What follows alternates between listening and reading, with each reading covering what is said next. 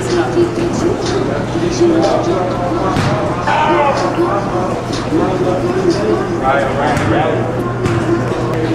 listen up, y'all.